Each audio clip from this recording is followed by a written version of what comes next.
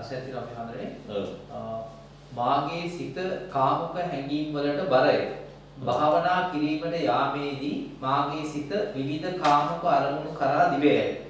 සිත එකඟ කරගත නොහැක. ඒ සඳහා ඉන්ද්‍රිය භාවනාව කළ යුතු බව ඔබ වහන්සේගේ දේශනාසුල සඳහන්ව ඇත. එම ඉන්ද්‍රිය භාවනාව කෙටියෙන් පහදා දෙන්න. හොඳයි එකක් නැහැ පිනත් විදිහට කාම අදහස් වලින් හිත පෙරෙනකොට භාවනා කර ගැනීමට අමාරුයි. එතන ඒ වගේ අවස්ථාවක් තුළ සංසිඳවා ගැනීම පළමුව සිද්ධ කර ගන්න ඕනේ. භාවනාව සිද්ධ කර ගැනීමට සමතේ අවශ්‍යයි කියන්නේ ඒකයි. සමතේ කියන්නේ නීවරණ සමත කර ගැනීම. නීවරණ සමත වෙනකොටයි සමත කියන්නේ. කාමච්ඡන්ද, ව්‍යාපාද, තීන මිද්ද, උද්ධච්ච කුක්කුච්ච විචිකිච්ඡා කියන මෙන්න මේ නීවරණ පහ සමත වුණා නම් මේකට කියනවා සමත කියලා. ධානය කියන්නේ සමත ලබාගෙන ඉන් එහාට තිබෙන්නා වූ සමත භාවනා මුට්ටාසය. සමතය කියන එක අවශ්‍යයි විදර්ශනාවට.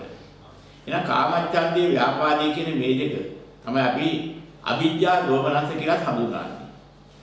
කායේ කායානුපස්සී විහෙරති ආතාපි සම්පජානෝ සතිමා විනේය ලෝකේ අවිද්‍යා දෝමනස්සං ආදි වශයෙන් සතර සතිපට්ඨානයේ විග්‍රහ කිරීමේදී සතිපට්ඨාන සූත්‍රයේ විග්‍රහ කරලා තියෙනවා අවිජ්ජා දෝමනස කියන දැඩි ලෝභය සහ දෝමනස දුරු කර ගැනීමට කළ යුතු වැඩ පිළිවෙල තමයි කායානුපස්සනාව.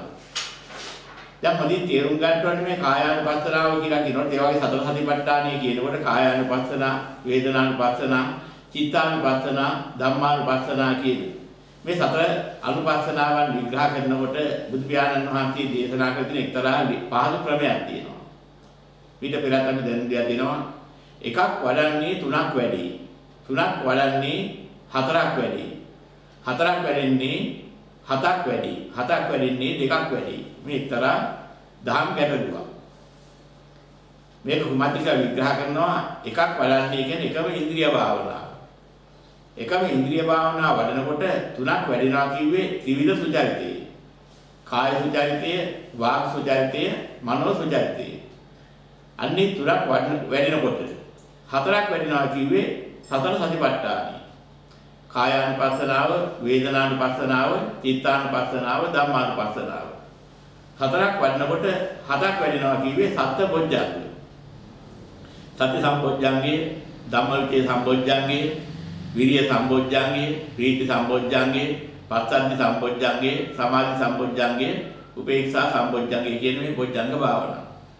ඒතර පුජ්ජංග භාවනා වෙන්නකොට සතක් වෙන්නකොට දෙකක් වෙන්නවා කිව්වේ විද්‍යා විමුක්තිය කියන ප්‍රතිඵලය. විද්‍යා ඥානය කියලා කිව්ව මාර්ගය පූර්ණ වෙනවා. ඒ වගේම චතුරාර්ය සත්‍ය පිළිබඳ අවබෝධය ලබන්නා නොන නැගිනවා. ඒ වගේම නොන නැගිනකොට එතනින් ප්‍රතිඵලය වශයෙන් ඵලය ලැබෙනවා මාර්ගඵල අවබෝධය ලැබෙනවා. මෙන්න මේ ආකාරයෙන් තමයි මේ භාවනා ක්‍රමයෙන් වෙන්නලා දෙන්නේ එකක් වැඩිම මුල් කරලා වෙන්නනවා. එකක් වැඩිම කියන්නේ ඉන්ද්‍රිය භාවනා පහකම ක්‍රමයි. මේ ඉන්ද්‍රිය භාවනාව වඩන හැටි පෙන්නකොට එක්තරා දේශනාවක් තියෙනවා පරාසරී කියන බ්‍රාහ්මණ ගුරුවරයෙක් හිටියා බුදුරන් වහන්සේ වැඩ ඉන්න කාලේ. ඒ පරාසරී කියන බ්‍රාහ්මණ ගුරුවරයා තමන්ගේ ගෝලයින්ට කියා දෙනවා ඉන්ද්‍රිය භාවනාව. ඇස තියෙද්දි අන්ධයෙක් වාගේ ඉන්න. කන තියෙද්දි බිහිරෙක් වාගේ ඉන්න.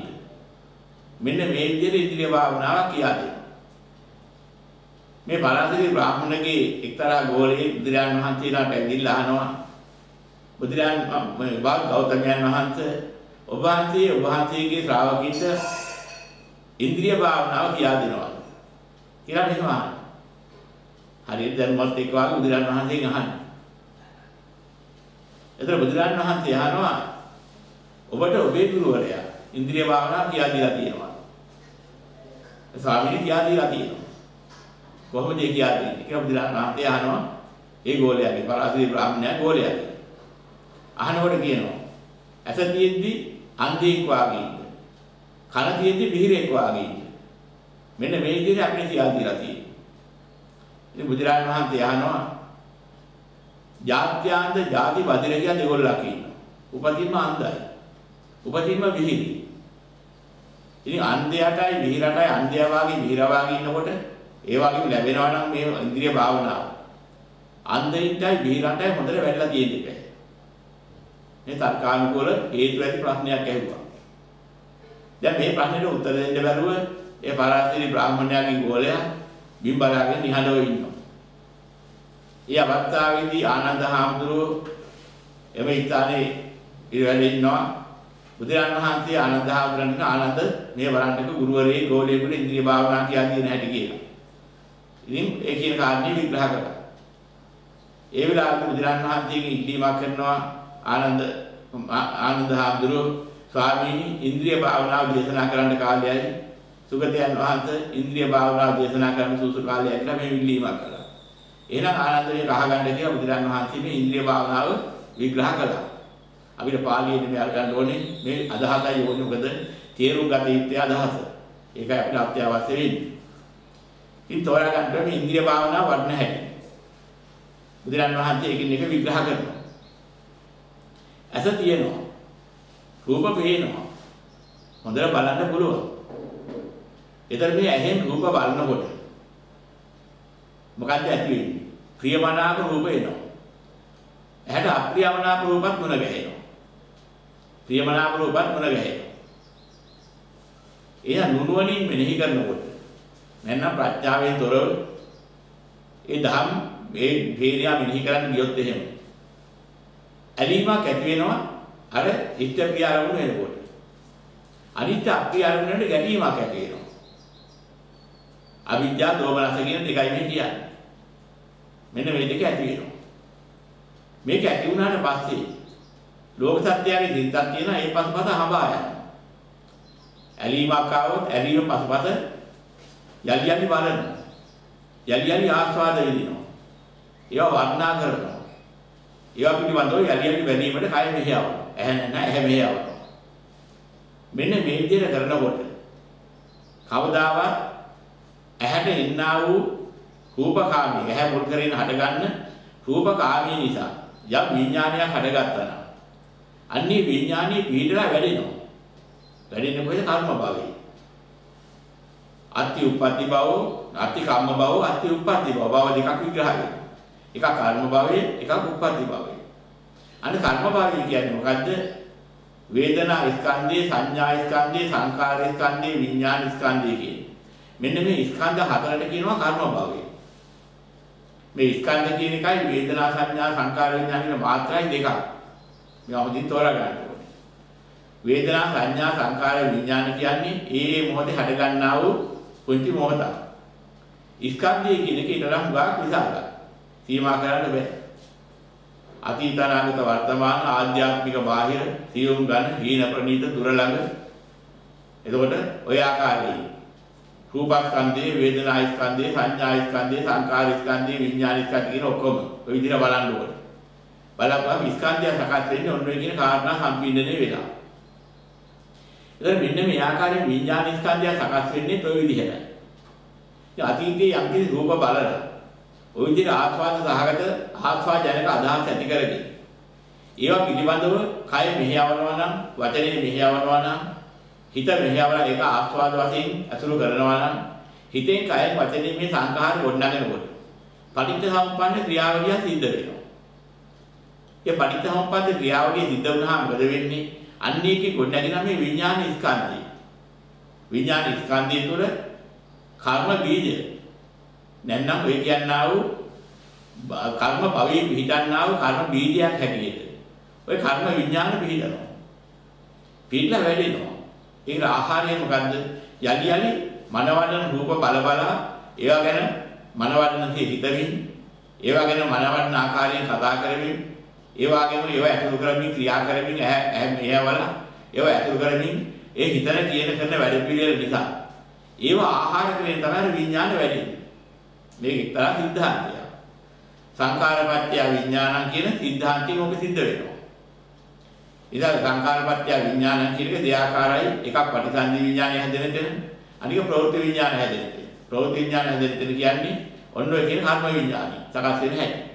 සංකාර වුණාද අපි යමක් අරමුණු කරගෙන ප්‍රියමනාපයෙන් හිතනවා නම් කියනවා නම් කරනවා නම් අන්න ඒවා තමයි ඒ සංකාර කියන්නේ. ඒ හේතු කොටගෙන ඒකට ගැලපෙන්නා විඥානය වැඩෙනවා. නැන රූප රාගය මුල් කරගත්ත. රූප කාමී මුල් කරගත්ත විඥානය වැඩෙනවා. කාම විඥානය. ඒ කාම විඥානයක් වැඩුණොත් මොකද වෙන්නේ? කාමයන්ගෙන් මිදෙන්න බැහැ. ඊට පස්සේ කොච්චර හරි මොකද කරන්නේ? ඒ විඥානය අදහස් ඒවනවා. මතු කර දෙනවා. අපි ස්වභාවයෙන් අපි වචනයක් කියනවා මේ කාලේ යටිහිත කියලා එකක්. ඔය යටිහිත කියලා කියන්නේ මොකද්ද? ඔන්න ඔය කියන කර්ම විඥානය. ඊ යටිහිතේ තියෙන අදහස් උළු හිතට මතු වෙනවා කියලා අපි කතාවල කියනවා. උළු හිත කියන්නේ හිතනවා. හිතන හිතවිලි නැත්නම් සංකාර වලට තමයි අද මනෝ සංකාර වලට නැත්නම් ඒක තමයි අපි හිතවිලි වලට තමයි කියන උළු හිත කියලා කියන්න පුරුදු වෙලා තියෙන්නේ. වචනයක් කියනකොට වචනයක් කියන්නේ ඉතලා කියන්න හිතනවා. හිතන කතා කරනවා. කතා කරන වෙලාවෙදී ඒ වචනේ බලවත් වෙලා හිත බලවත් වෙලා හිතක් තමයි තමයි කතා පිට වෙන්නේ. ඒ වගේම ක්‍රියාත්මක වෙනවා. කය ක්‍රියාත්මක කරනකොට අපි ඉතින්ලා මෙහෙම කරන්න ඕන, එහෙම කරන්න ඕන, යන්න ඕනේ ගමනක් මෙහෙම හිතලා. ඊට පස්සේ ගමනේ යනවා. යනකොටත් හිත ක්‍රියාත්මක වෙනවා. ඉතින් මෙන්න මේ විදිහට හිතන කියන කරන වැඩ පිළිවෙලද.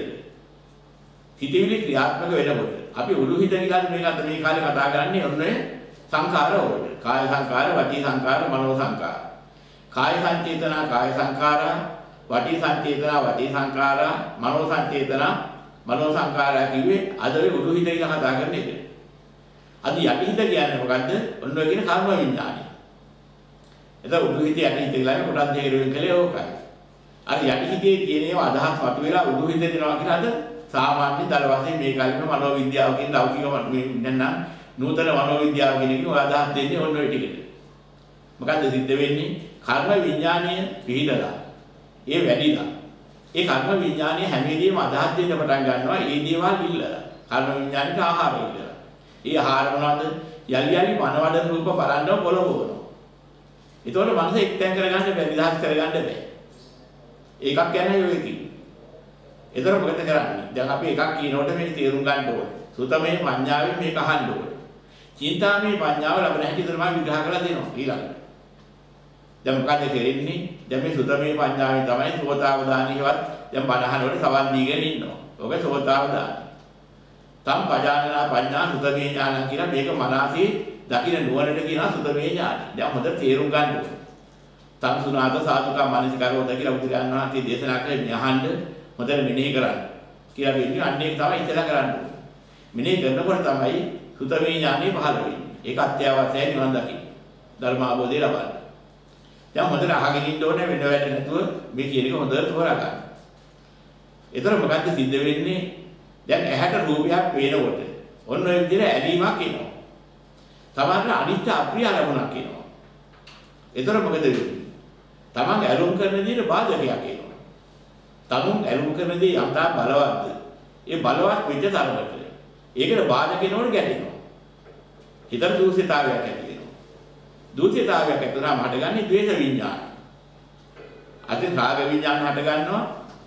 විරුද්ධ දෙයක් ආව ද්වේෂ විඥානයක් හට ගන්නවා. අන්න ඒක රාග විඥානයක් හටගත්තාම අවිද්‍යාව සාගත වුණ හටගත්තේ. ඒක කාමයේ මුල් කරගෙන කාමච්ඡන්දයක් හැදෙනවා.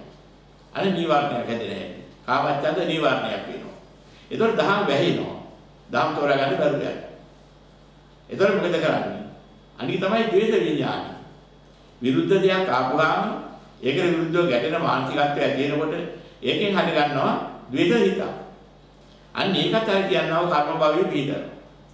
ඒ පිළිදපුවාම ඒකට කියනවා ද්වේෂ විඥානය හටගන්නවා. ද්වේෂ විඥානය මොකද කරන්නේ හැම වෙලේම විරුද්ධ අදහස් එනවා. ගැටෙන අදහස් එනවා. අන්නේ අදහස් එනකොට අපිට හට ගන්නවා අවිජ්ජා දෝමනස කිව්ව අවස්ථාව. නැත්නම් කාමච්ඡන්ද ව්‍යාපාද කියන ඊළඟ නීවරණය හට ගන්නවා.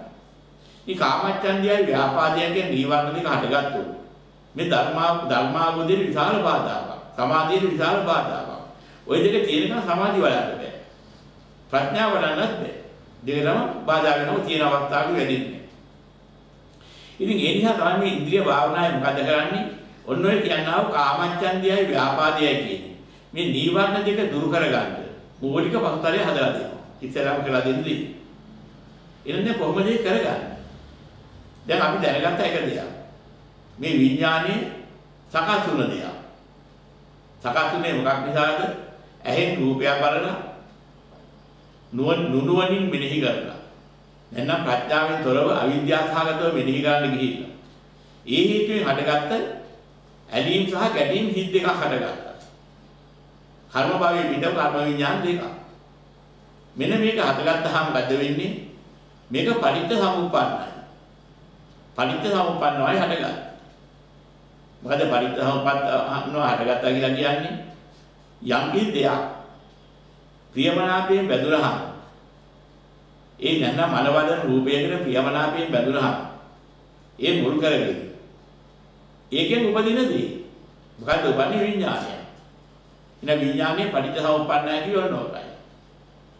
ඒ වගේම මේක සංකතයක් වුණා. සංකතයක් කියන්නේ ඉස්සෙල්ලා තිබුණේ නැහැ. හේතුවක් නිසා හටගත්තා. මොකද්ද හේතුව? ඇහෙන් රූපයක් බලලා අවිද්‍යාව සහගතව ඒක මෙනෙහි කරන්න ගිහිල්ලා ඒ හේතුවෙන් හටගත්ත කර්ම විඥානයක් අන්න හටගත්ත ක්‍රමය. පරිත්‍යාමපන්නව සංකතයක් හටගත්තා. අන්න හටගත්ත ක්‍රමයක් තියෙනවා. දැන් මොකද්ද සංකතේ? අර අපි කිව්ව විඥානි කර්ම විඥානය සංකතය. නාම සංකතය. දැන් සංකතයක් හටගත්තා. දැන් මොකද්ද සිද්ධ වුනේ? ඒ හට දැන් අපි බලන හැටියක් තියෙනවා දැන් මේක. අන්න දැන් බලනවා ක්‍රමී. ඇහෙන් රූපයක් පේනවා. ප්‍රියමනාපයෙන් නම් ඒ රූපේ ගත්තේ. ඒ රූපේ නිසා හටගත්තා වූ චක්කු විඥානය මුල් කරගෙන කර්ම විඥානය හටගත්තා. කාම සහගත දර්ශන කාමයේ මුල් කරගත්ත කර්ම විඥානයක් කර්ම භවයේ පිහිටියා. පිහිටලා ඉතින් කොට ආහාර දෙන ගන්නක වැඩෙනවා. පිහිටියේත් වැඩුණේත් කියන්නේ ඒකයි. පිහිටලා වැඩෙන්න පටන් ගන්නවා. වැඩෙන්න වැඩෙන්න එක මෝරලා යලි යලි ඒකට අවශ්‍ය කරන ආහාරය ඉඳලා අදහස් එවනවා. නැවත නැවත බලන්න පොළඹවනවා. සිතිවිලි ගොඩනගනවා. මේක මහා වදියක් වෙනවා. ඊට පස්සේ නොබලා ඉන්න බෑ. ඒක මහා විශාල ආස්වාදයක් බලාපොරොත්තු වෙනවා. මොකද මේකද වෙන්නේ? අපි පෙරෙන එකක් තමයි මේ නිබදෙවි විඥානයක් කියලා. පෙරෙන දෙයක් නිස්පාදනය කරපුවාම ඒක ප්‍රතිඵලයේ පිළීම ලබා දෙන්නේ. ඇයි පෙරෙන්නේ? අපි ආසාවක් කියලා බලාපොරොත්තු වෙනා නම් කැමැත්තක් ගොඩ නැගුවා නම් පෙරෙන දෙයක්ම ගොඩ නැගිනවා මිසක් වෙන වැදගත් දෙයක් ගොඩ නැගින්නේ නැහැ. පෙරෙන්න හේතු වෙන දෙයක්මයි ගොඩ නැගෙන්නේ. එහෙනම් මේ පෙරෙන දෙයට කියනවා අනිත්‍ය දෙයක් ගොඩ නැගුණා කියලා. අනිත්‍යවයටපත් වෙන දෙයක් අනිත්‍යවටපත් වෙන දෙයක් ගොඩ නැගුණා. පෙරෙන දෙයක් ගොඩ නැගුණා. අට්ඨියති හරාදි සිගුච්ඡති කියලා කිව්වෙත් ඒකයි. පෙරෙනවට කියන නම් ඔය. ඉතින් මෙන්න මේ අට්ඨියති හරාදි දිගුච්ඡති කියලා වචනෙන් අපි පෙන්නමු. යමක් ඇද්ද එහෙම එකක් තමයි මේ විඥානය කියලා ගොඩ නැගුණේ. කර්ම වගේ පිට. දැන් මේක හොඳට තෝරා ගන්න ඕනේ. එහෙනම් ඇහෙන් රූපයක් බලලා ප්‍රියමනාප ඉතින් හිතන්න ගියොත් ඒ විදිහට ඒකට තැන දෙන්න ගියොත් ඒක යටි යටි අසුර කරන්න ගියොත් ඔන්න ඔය જાතිය විඥානය තමයි කර්ම භවයේ පිහිටලා වැඩෙන්නේ. එහෙනම් ඒක මොකද්ද? පරිත්‍යාම්පන්නව හටගත්තු සංකතයක්. ඒ වගේ පෙළෙන එකක් හටගත්තා. ඊතර පටන්ගෙන හිත පෙළෙනවා. පෙළපෙලා ඉල්ලනවා. යලි යලි ලස්සන බලන්න පොළඹවනවා. ධර්ම මාර්ගයට බාධා පවනවනවා. ඒක ආදීනව දකින්න ඕනේ. දහම් අගට බාධකයි. ඒ වගේ මනස සමතුලිතව තියාගන්න පුළුවන් කමක් නැහැ. නොයේ කාකාරවන්නා වූ කාම අදහස් ඇති කරවන්න හේතු වෙනවා. මෙන්න මේ විශාල ආදීනව ගොඩක් ඇති වෙනවා. මේවා කල්තියා දැනගන්න ඕනේ. මේ ඇහෙන් රූපයක් බලන්න ගියාම ඒක සාමාන්‍ය දෙයක් කියලා අහක් කරන්න බෑ කිව්වේ ඒකයි. ඒක සත්‍ය හොඳට තෝරා ගන්න ඕනේ. මොන තරම් අපරාධයක් අපි මේක සිද්ධ කරනවාද කියලා. ඉතින් මෙන්න මෙහෙම ඉස්සරහ තේරුම් ගන්නවා. සංකතයි පරිත්‍යාසම්පන්නයි. දැන් පරිත්‍යාසම්පන්න හටගත්තේ මොකද්ද? ක්ෂය ධර්මය. දැන් ක්ෂය වෙනවා කිය මොකද්ද? ඔන්නේ අන්‍යතාවයටපත් වෙනවා. එහෙම නැත්නම් පෙරෙන බවටපත් වෙනවා. ඒකයි ක්ෂය වෙනවා කියන්නේ. අපි මානසිකත්වයට මහා වදයක් වෙනවා. ක්ෂය වුණා. මොකද ක්ෂය වෙලා ගියේ ಗುಣධර්ම ලබා ගන්න හේතු කාර්ය නොවන්නා වූ ආකාරයෙන් කුණු ගෑවුණා. කාට ගැන්නුණා? නරක වුණ දෙයක් වුණා. අන්න ඒ වගේ දෙයක් වුණේ. වය ධර්මයි. ඒ කවදාත් අපිට පවතින ධර්මයක් නෙමෙයි. කොච්චර මේ විඥාන හටගත්තා. ඒකෙන් අපි විනාශයක් ඇති කරන දෙයක් එනවා මිසක් වෙන හරියක් ඇත්තේ නැහැ. වය ධර්ම ක්‍රම දෙකක්. එකක් තමයි ඒ ධර්මයේ වැරදිලා යනවා. මේක වය ධර්ම ක්‍රමය. අනිත් තමයි අපේ ජීවිත තත්ත්වයේ අපේ යහපත විනාශ කරන යමක් නිසා අපේ නිවන නිවන් මාර්ග විනාශ කරනවා. යහමාර්ග විනාශ කරනවා. ඒකත් එක පැත්තකින් වය දාන්න. ඒකත් තෝරගන්න. යම් වෙනසෙන දෙයක් නිස්පාදනය වුණා. ඒකත් වය ධර්ම. ඔය වය ධර්ම ක්‍රම දෙකක් තියෙනවා තෝරා ගන්න ඕනේ. දැන් මෙතන වය ධර්ම වෙන්නේ මොකද්ද? ඔය කටගත ස්කන්ධයේ නාම ගොත්තන් අජීරති කිව්ව එකට වැටෙනවා. එකක්. අනික කාරණේ ස්කන්ධයක් වුණත් මොහොතක් කාරණේ බිඳ බිඳ යනවා. හැදෙන එක අතීතයට යනවා. අපි අඩි අඩි ගොඩ නගනවා. ගොඩ නගන ගාමි ආස්වාද වෙදී. අනික ඔය හදාගත්ත කර්ම විඥානය ගොඩ නගුවොත් ඒ කර්ම විඥානය අපි පහතට හෙලනවා. අපේ මනස පහත් කර දමනවා. අපිට විනාශයක් ඇති කරවනවා. අන්නේ විනාශයක් ඇති කරනාට තේනොත් ඒක වාය ධර්ම වෙනවා. එහෙනම් මොකද්ද මේ ඇහෙන් රූපයක් බලන්න ගියහම අපිට හම්බ වෙන වස්තුවක් තිබුණාද? වටිනා දේ මොකද්ද? ආස්වාදයේ නැමැති මායාවට මුලා වෙලා අවිද්‍යාවේ නිගමනයේ මුලා වෙලා. ඒ ලක්ෂණ කියන එක බලන්න ගිහින් යලි යලි බල බල ඔය කියන්නා වූ ආහාරය ලබා දුන්නාම ඇහෙන්. ඔය හටගන්න කර්ම විඥානේ එන්න ඔය හටගන්න කර්ම භවයේ හටගන්න. ඔය වේදනා සංඥා සංකාර විඥාන කියන ස්කන්ධ හතරකින් ගොඩනැගිලා තියෙනවා. ඒ කාමයන්ට ගෝචර වෙන දර්ශන කාමයේ ගෝචර වෙන ඔය කාම විඥාන බීජේ. දැන් සංකතයක් බව දන්නවා. නිකන් හැදුන්නේ අපේ මුලාව නිසා මුලාවෙන් කරපු වැඩක් නිසා මුලාවෙන් බලන්න ගිය නිසා හදාගත්ත සංකතයක්. ඒ පරිත්‍යාවම්පන්නවයි හටගත්තේ. දැන් එකක් දාන්න. ඒ වගේම මේ ක්ෂය ධර්මය පෙළනවා. එතන පටන්ගෙන අපිව පෙළනවා. ඒ වගේම අපි විනාශයට ඇද දමනවා. අපිට කවදාවත් නිවන් දකින්න ඉඩ දෙන්නේ නැහැ. යහමගට යන්න ඉඩ දෙන්නේ නැහැ. කාමයන්ට ඇද දමලා, කාම ඡන්දයට ඇද දමලා, හිත අන්ධ කරලා, වැරදි ආකල්පයන්ට හිත මෙහෙයවලා, ඕන අයුක්තියක් අසාධාරණයක් කරන විදිහට හිත පොළඹවලා, දස අකුසලයේ ඇදලා දමන විදිහට වැඩ කටයුතු කරලා, අපිට සතර පහ ගත වීමට හේතු වෙන්නා වූ විනාශයක් හදා දෙනවා මිසක් ඔය විඥානයේ කවදාවත් හොදක් කරන්නේ නැහැ කියලා යථාර්ථය දකින්න ඕනේ. මෙන්න මෙහෙම දැක්කහම දැන් අපි වචන හතරක් ගත්තා. මොකද්ද? සංකතයි, පටිච්ච සමුප්පන්නයි, ඡේ ධර්මයි, වය ධර්මයි. දැන් මේ වචන හතර හොඳට තෝරා ගන්න ඕනේ. සංකතයි, පටිච්ච සමුප්පන්නයි, ඡේ ධර්මයි, වය ධර්මයි. මොකද්ද මේ උනේ? සංකත උනේ, පටිච්ච සමුප්පන්නයි, ඡේ ධර්ම, වය ධර්ම. අර කර්ම විඥානීයවත් කර්ම භවයේ පිටපු දර්ශන කාමයේ මුල් කරගත්ත දර්ශන කාමයේ ස්වභාවය ඇති හටගත්ත කර්ම බීජේ. ඔන්නේ බීජ මහා භයානකයි. ඕක තමයි අපිට භයානක විනාශය ඇති කරන්නේ. කවදා හරි ඕක මත් වේලා ඔය පස්සේ ගියෝ. මරණාසන්න මොහතක හෝ ඕක අරමුණු චුත වෙන මොහතක අරමුණු වුණොත් හතරපා උපති රත් හේතු වෙනවා. ඒ තරම් භයානකයි. කවදාවත් සුගතියකට නම් හේතු වෙන්නේ නැහැ.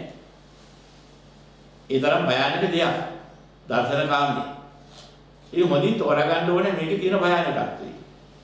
මෙන්න මෙහෙම කල්තියා තෝරා ගන්න ඉන්න ඕනේ. ඒ වගේම අනික තමයි අයිට විරුද්ධ දෙයක් එනකොට යන්තරම කාමයට ඇලුම් කරනවාද? ඒ පසුපස හඹා යන්න අපි නොඒක ආකාරයෙන් උත්සාහ කරනකොට ඒකට විරුද්ධ බාධකයක් ආවොත් එහෙම අපි ඊට විරුද්ධව ගැටෙන්න පටන් ගන්නවා. ගැටෙනකොට මොකද සිද්ධ වෙන්නේ? දූෂ්‍ය වන්නාව මානසිකත්වයේ නිසා දූෂ්‍ය හිතවිලි ක්‍රියා වදන් ඔක්කොම ගොඩනැගෙන්න පටන් ගන්නවා. ඒ හේතුවෙන් හට ගන්නවා ද්වේෂසහගත විඥානයක් අර කර්ම භවයේ. ඒක එකක් රාග විඥානය අනික ද්වේෂ විඥානය.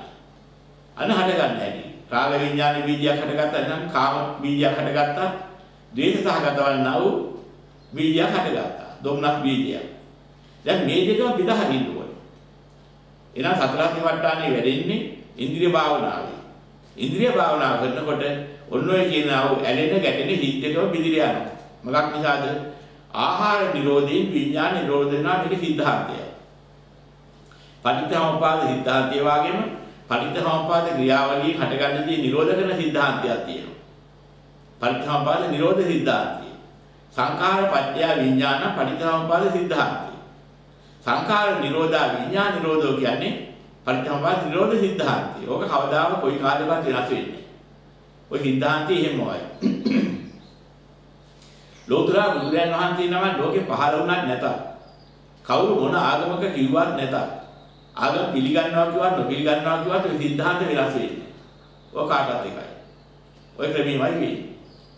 ඉතින් තේරුම් ගන්න ඕනේ මේක විද්‍යාවක්. මේක ආගමක් නෙවෙයි. යථා දර්ශනය යථා තත්ත්වය කියන්නේ. එලා බුදුරජාණන් වහන්සේ යථාර්ථයේ පෙන්වා දුන්න උත්තරයන් වහන්සේ නමක් නිසා මහා විද්‍යාඥයෙක් කිව්වෙත් ඒකයි. ඒතර මොකද්ද මේ පෙන්වා දුන්නේ? ඇහෙන් රූපයක් දැක්කහම ඇති වෙන්නා වූ ආකාරයයි වෙන්නේ. මෙන්න මේක දිගින් දිගට පවත්වාගෙන ගියොත් අපිට මොකද වෙන්නේ? මේ කර්ම විඥානය පිහිටලා ඒක පෝෂණය වෙනවා. යලි යලි බලන්න බලන්න පෝෂණය වෙන්න වෙන්න. ඔය කියන්නාව මහා භයානකත්වයම වැඩි කරනවා. කවදාවත් අපිට නිවන් මාර්ග පාදා ගන්න බෑ. ඒකට ඉඩ දෙන්නේ නැහැ. මනස හැමදේම විසිරෝලා. ඒ පසුපස හඹා යන්න සලස්සනවා. ලෝකයේ පසුපස හඹා යන්න සලස්සපුවාම ලෝකයෙන් ඈතර වෙන්න තියා පිනක් දහමක් කරන මට්ටමට හිත හදාගන්න බැහැ.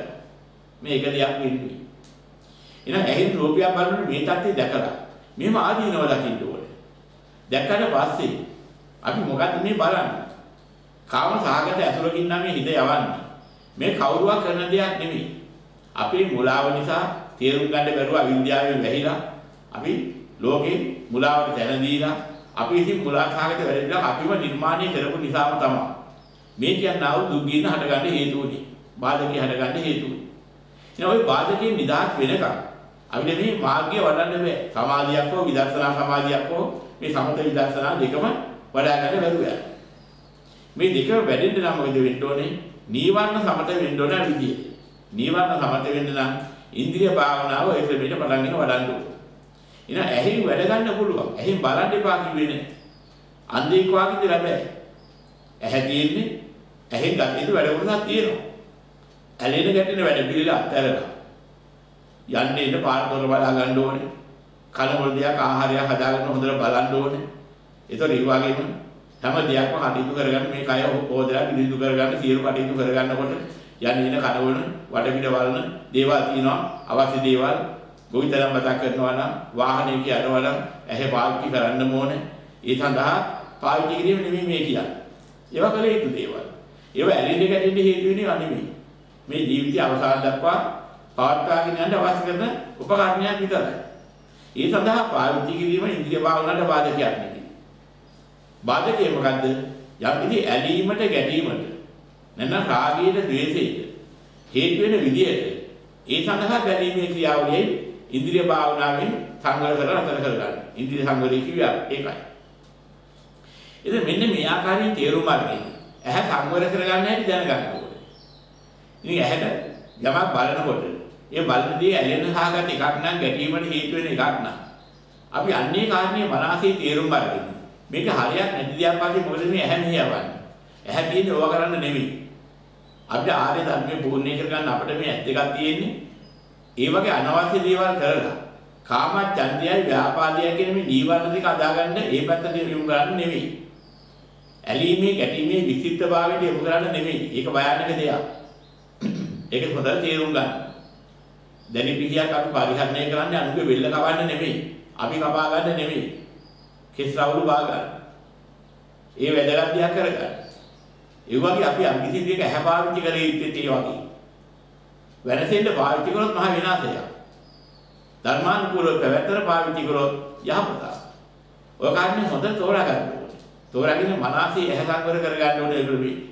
සංවර කර ගන්නවා කියම මොනවත් බලන්න තු බිම් බලාගෙන ඉන්නව නෙමෙයි.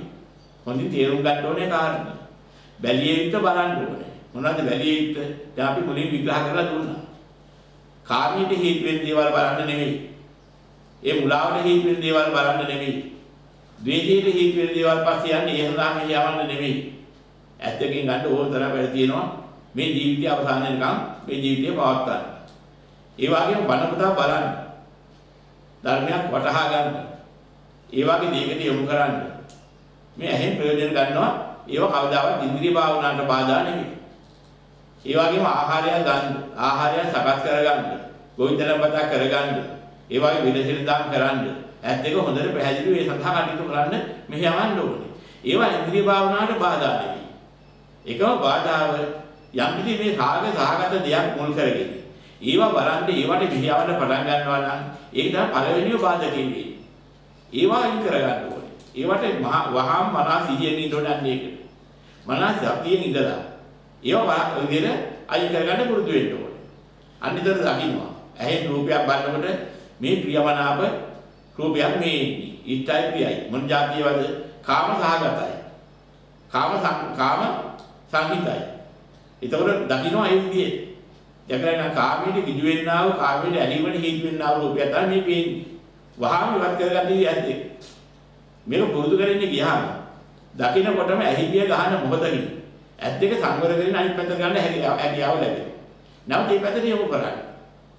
මේක අපි හිම මනස 100 ගිලා කරන්න ඕන දෙයක්. මේක ප්‍රගුණ කරගෙන ගියා නම් ටික කාලයක්. ඔය කියනවා බාධකෙන් දුර වෙනවා.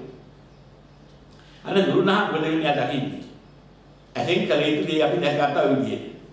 දැන් මේක පාලි වාක්‍ය ඉගෙන ගත්තා නම් මේක සිද්ධ වෙන්නේ නැහැ. ඔය අදහස දැනගන්න ඕනේ. අපි වාක්‍යයකින් නෙමෙයි ලෝකේ හැදිරෙන්නේ. පාලි වලින්වත් සිංහල වලින්වත් ඉංග්‍රීසි වලින්වත් නෙමෙයි හැදිරෙන්නේ. අපේ ඉන්ද්‍රිය හිත හිතන කියන කරන වැඩ පිළිවෙල සංවර කර ගැනීම අපි ක්‍රියාදාමය. ඒ ක්‍රියාදාමයේ තුලින් නිවන් අවබෝධ කරගන්න. හොඳින් තේරුම් අරගෙන නිවන් අවබෝධ කරගන්න ඕනේ ওই ටිකයි. එහෙනම් පාලි ඉගෙන ගන්න ඕනේ, සිංහල ඉගෙන ගන්න ඕනේ, භාෂා ව්‍යාකරණ ඉගෙන ගන්න ඕනේ කියලා එකක් නැහැ. ඒවා ලෝකායත ශාස්ත්‍ර වෙනම අංශයක් නිවන් දකින්න මග එකක්. නිවන් දකින්න මග මේ ක්‍රමවේදය හොඳට තෝරාගන්න එකයි. තෝරාගෙන ඉවරයි දැන් තමන් ඊට අනුව හැසිරෙන්න ඕනේ. ඒතකොට මොකක් නිසාද මේ හැසිරෙන්නේ? මේ ධර්මයේ ඉස්සලා තේරුම් ගන්නවා. මේ ධර්මයේ තෝරාගත්තට පස්සේ මුලින් අහලා තෝරාගත්තට පස්සේ බණ අහලා මේක තේරෙනවා. ඒතකොට ඉන්ද්‍රිය සංවර කරගැනීමේ ක්‍රමී දන්නවා. ඒකේ වටිනාකම දන්නවා. මෙන්න මෙහෙම දැනගෙන කරගෙන යනකොට කරගන්න හැකියාව ලැබෙනවා.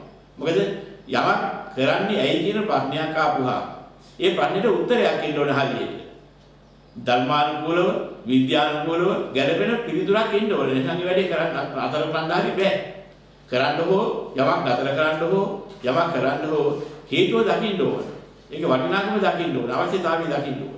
ඒක තමයි කරන්න පුළුවන් වෙන්නේ. දැන් මේ විදිහට ඉන්ද්‍රිය භාවනාවේ සංවර කරගන්න වටිනාකම දැකලා අපිට පුළුවන්කම ලැබෙනවා ඒකේ වටිනාකම දැකලා ඒ සංග්‍රහය ආරම්භ කරන්න. දැන් මේ ටික තේරුම් ගත්තා නම් දැන් මේ ටික අහුණා නම් සෝතාවදානී තිබුණා නම් තම් පජානනා පඤ්ඤා කියන්නේ මේක මනසේ දකින්නා වූ නුවණ ප්‍රඥාව පහළ වෙනවා. අන්නේ කියන සුතමේ ඥානි. සුතමේ ඥානි පහළ වුණා නම් සුතමේ පඤ්ඤා කියත් මේකට කියනවා. චින්තාමේ පඤ්ඤා ගන්නේ කොහොමද? දැන් එක ඉන්ද්‍රියක් ගැන කිව්වහම ওই ක්‍රමයටම යම් කෙනෙකුට තේරෙන්න පටන් ගත්තා නම් කනගරක් මම දැන් නොකියවට මට තේරෙනවා. නාසයෙන් මේ අරමුණක් මට දැන් තේරුම් ගන්න පුළුවන් ওই ක්‍රම කතාව. දිවට දැනෙන්නේ, කයට දැනෙන්නේ මට වෙලාවටාවේ තෝරා ගන්න පුළුවන්. මෙන්න මෙහෙම කිය තමන්ට තේරෙනවා නම් එකක් කියපුවාම යනුසාරින් අනිත් ඉන්ද්‍රියන් ගැන. අන්න චින්තාමය ප්‍රඥාව යට තියෙනවා. හැකියාව ලැබෙනවා. දැන් යාර කියන්නේ මොකද්ද? භාවනාමය ප්‍රඥාව ගන්න ගුරු හතර වලින් විතරයි. හතර වලට මාර්ගය වැඩෙනවා. දැන් ඔබ තෝරා ගන්න ඕනේ. දැන් ඉතලා හිතලා බලන්න ඇහැ ගැන කිව්ව විදිහට දැන් කන ගැනත් මට හිතා ගන්න පුළුවන්. බැයිද? තම තමන් හිතන්න. හිතලා බලන්න දැන් මේ විදිහට එනකොට මම තවත් එක ඉන්ද්‍රියක් ගැන කියන්නම්. ඒතකොට හිතුව හරියට හරිද? ගැළපෙලා තියනවාද කියන තොර වෙන්නේ. කන්ට විවිධ ශබ්ද එනවා. ඉච්ඡ ප්‍රිය ආරමුණු එනවා. අනිත්‍ය අප්‍රිය ආරමුණුත් එනවා. මධ්‍යස්ථ ඒවා තියෙනවා. එතකොට ඉෂ්ට ප්‍රිය අරමුණක් කනට ආපුහම මොකද වෙන්නේ? ඒ ශබ්දයේ හිත ඇලෙනවා. ආසාවක් ඇති වෙනවා. කාම සහගත අදහසක් නම් ආවේ. එයා ඒ ශබ්දේ ඒ මිහිරියාවට හිත දීලා. ඒක අහන නැවතවයක් ආස්වාද විඳින්න හිතෙනවා. යලි යලි අහන්න හිතෙනවා. මේක ක්‍රමයක්. අන්න එහෙම අවස්ථාවක් එන්න පුළුවන්. ඒ වගේ අවස්ථාවක් ආවොත් මොකද වෙන්නේ? අපේ අදහස ඒ පැත්තට නැඹුරු වෙනවා. කාම අදහස් ගන්න ශබ්දේ මෙහෙයවෙනවා. මෙහෙයවුනොත් අපි මේ පැත්තට නැඹුරු වෙනවා. නැඹුරුනොත් මොකද වෙන්නේ අපිට? අපේ හිතවිලි පට හට ගන්නවා කාම සහගත සංකල්පනා මුල් වෙලා. කාම සෝත විඥානයේ මුල් කරගත්ත. කාම සහගත හිතක් හට ගන්නවා අර විදිහටම කර්ම භාවය. ඒ හිත හටගත්තාම කාම බීජයක් වෙනවා ශබ්දේ මුල් කරගෙන. ශබ්දේ අරමුණු කරගෙන හටගත්ත කාම හිතක් හට ගන්නවා කර්ම භවයේ කර්ම විඥානයක් වශයෙන්. ඒතර මොකද වෙන්නේ? ඒ විඥානේ අර වගේ අදාත් දෙන්න පටන් ගන්නවා යලි යලි එහෙම ශබ්ද අහන්න. ඒ මිහිර යලි යලි ආස්වාද විදපා විදපා කියලා අදාත් දෙන්න පටන් ගන්නවා. ඒ පස්වල මනස හවා යනවා. කය මෙහියවන්න වෙනවා. අන්න ඒතර මොකද වෙන්නේ? අපි වඳු ශබ්ද ගැන ආස්වාද වශයෙන් හිතනවා. ඒ වගේම වර්ණාත්මකව කියනවා. ඒවට යොමු වෙලා නැඹුරු වෙනවා. මෙන්න මේ ක්‍රමයට අපි පුරුදු වුණොත් එහෙම මොකද වෙන්නේ? හිතන කියන වැඩ පිළිවෙල නිසා අපි සංකාරය ගොඩනැගීමක් වෙනවා. සබ්දේ මුල් කරගත්ත ආස්වාදයේ සංකාරය ගොඩනගනවා. ඒ සංකාරපත්ති විඥානයක් හට ගන්නවා ඔය කියන කර්ම වගේ. අන්න ඒක තමයි සබ්දේ මුල් කරගත්ත කාම බීජය. මෙන්න මේ බීජය හටගත්තාට පස්සේ යලි යලි ඇසුරු කරන්න කරන්න ඒ බීජයට වැඩෙන්න ආහාර වෙනවා. ආහාරය නම් අර කියනා වූ කාම විඥානය, ශබ්ද කාම විඥානය අර කර්ම භාවයේ වැඩෙනවා. වැඩෙන්න වැඩෙන්න මොකද කරන්නේ? මෝරණ විඥානේ නැවත ආපහු අපේ මහ බල බල කිරීමක් ඇති කරනවා. ඒ වගේ සද්ද අහන්න. ඒ පැත්තෙන් නැඹුරු කරනවා. අදහස් දෙනවා. අපි කියන යටි හිතේ පිටලා අදහස් දෙන්න පටන් ගත්තා කියලා.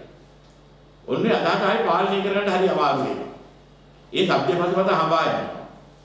යටි යටි ඒවා හිතන කියන කරන ඒ නුල් කරගත් කටින්තර බහිනවා. සංකාරපතේ විඥානයේ ලැබලා නැවත නැවත බලවත් වෙනවා. මේ විඥානීය බලවත් වුණාම අර ක්‍රමයේ තමයි. මොකද්ද? ඉස්සෙල්ලා නොතිබිච්ච දැනෙන හිත තිබුණා. ආරම්භන විඥාන ලක්ෂණ චිත්තං කියන චිත්ත ස්වභාවය තිබුණා. අරමුණක් කෙනෙකුට විවිධ අරමුණු දැනගන්න ලක්ෂණයක් තිබුණා. ඒ ලක්ෂණේ තිබුණාට ඒක තිබුණේ ශබ්දකාමී තහිත හිතක් එතන තිබුණේ නැහැ. අන්න ආගන්තුක කෙලෙසයක් හටගත් එකක්. අන්නේ ආගන්තුක කෙලෙසිත තමයි අපේ විඥාන කිව්වේ. ඒ හිතේ හටගත් චිත්තවල විඥාන හටගත්ත හැටි. පැල්ලමක් හටගත්තා. කෙලෙස් පැල්ලම. ඒක තමයි විඥාන. ශබ්ද විඥානයත් ඒ වගේ. ශබ්දේ නෙමෙයි මේ කියන්නේ. ශබ්ද කාම විඥානය. ඔනේ ශබ්ද කාමයේ මුල් කරගත්ත විඥානයක් හටගත්තා නම් අන්න ඒක කාම හිතක් වෙනවා. කාම විඥානයක් වෙනවා. ඔය කාම විඥානයේ ඉස්සෙල්ලා තිබුණේ නැහැ. අපි ඉතින් අපේ මුලාවෙන් අවිද්‍යාව නිසා අපි ඒක ඒක තරම දන්නේ නැතුව වැඩක් නැති කාම අදහස් පස්සේ ගිහිල්ලා ඒ අදහස් වලින් ඒවත් සවන් දීලා ඒවා ගොනු කරලා ඒ තුලින් ගොඩනගාගත්ත අපිම ගොඩනගපු එකක් නිසා මේක සකස් කරගත්ත එකක්. එන මේ කාම විඥානයේ සංකතය. එතකොට හදාගන්න එහෙමයි. මේක නිකන් හැදුන්නේ නැහැ පරිත්‍ය සමුප්පන්නව හැදුන්නේ. එහෙනම් හදාගත්තේ මොකද්ද? පෙළේ නිකන් හදාගත්තා නිසා හොඳ එකක් හදාගෙන නැහැ. එහෙනම් අන්‍යතාවයට පත් කරන එකක් හදාගත්තා.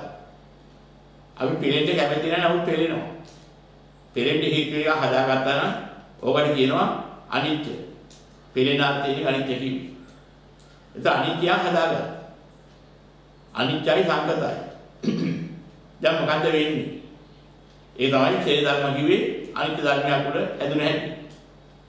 සංකතයක් හැදුනා ඒ වගේම පරිත්‍ත සම්පන්නයි ඒ ඡේද ධර්මයක් ඒ වගේම විනාශය කරා ගෙනියනවා. මොකද්ද විනාශයේ දියාකාරය. එකක් තමයි හදාපු එකේ බිඳිලා යනවා. හැබැයි හැදුවේ නරක එකක් නම් බිඳිලා කියන ගමක් නෑ වැඩි හොඳ. හැබැයි බිඳිලා යන්නේ තව එකක් නිපදවලා දීලා. ඒකත් හොඳට තේරුම් ගන්න ඕනේ.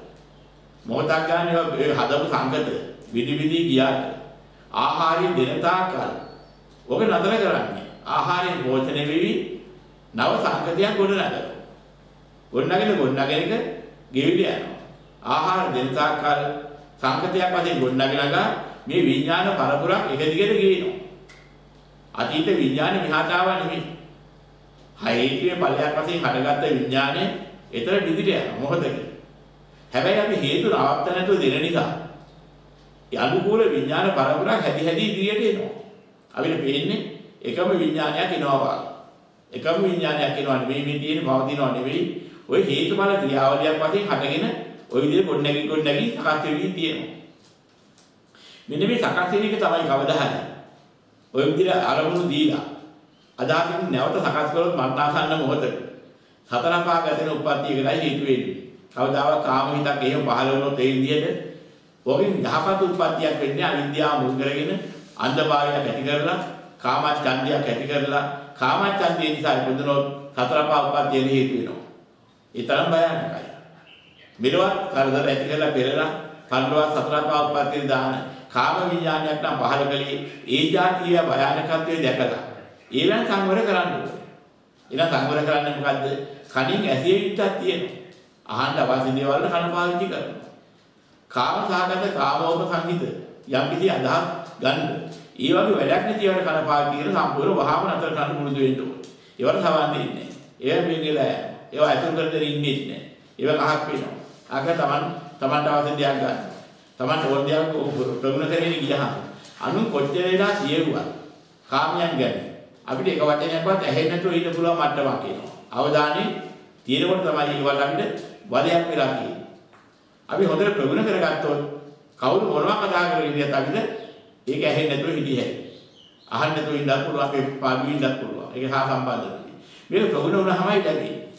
මෙන්න මේකට කියනවා ඉන්ද්‍රිය සංවරයේ ඒ වගේම සෝතේ ඉන්ද්‍රිය සංවර කරන්නේ කොහොමද?